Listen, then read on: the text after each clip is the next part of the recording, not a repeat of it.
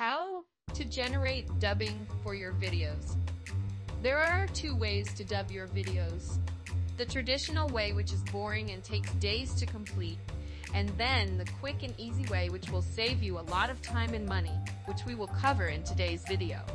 Go to Wavel Studios and select dubbing.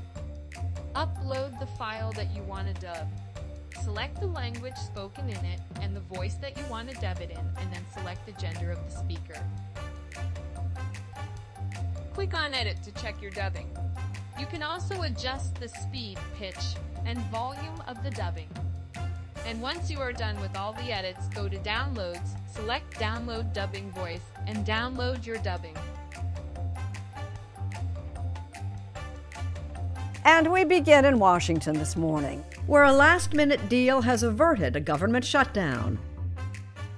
Y comenzamos en Washington esta mañana, donde un acuerdo de último minuto evitó el cierre del gobierno.